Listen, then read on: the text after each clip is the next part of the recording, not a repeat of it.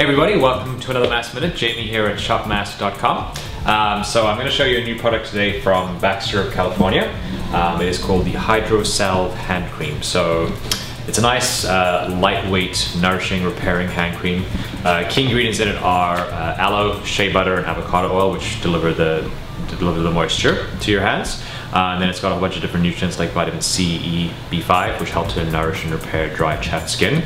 Um, it's unscented, so it has no scent at all, um, which some people like. And uh, it is it is very absorbent, so it, it goes in, absorbs into the skin easily, doesn't leave that sort of greasy arc feel. Um, so and you don't need a lot either. It's, it's quite concentrated, so it um, yeah it doesn't leave any sort of heavy feel. And after like a minute or so, it feels like you haven't really put anything on. Um, yeah, good hand cream works well for those chapped, dry winter hands, or if you work outside or whatever, your hands probably get dry too. You probably get away with using it on your feet as well, um, but it is technically a hand cream. Anyway, check it out, shopmasc.com, and uh, come see it in the shop if you're in Vancouver. Thanks for listening.